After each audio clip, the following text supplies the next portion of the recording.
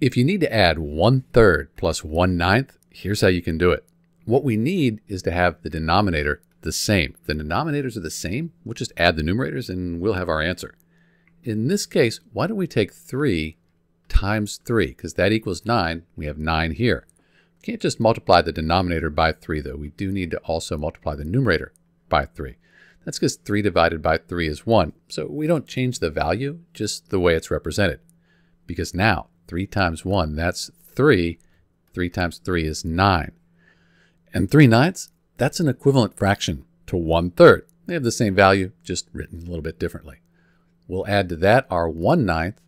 And now, remember, we have the same denominator. So we add the numerators. 3 plus 1 is 4. And then when we add fractions, if the denominator is the same, just keep it the same here, 4 ninths. So in answer to our question, 1 third plus 1 ninth, that equals 4 ninths. This is Dr. B. Thanks for watching.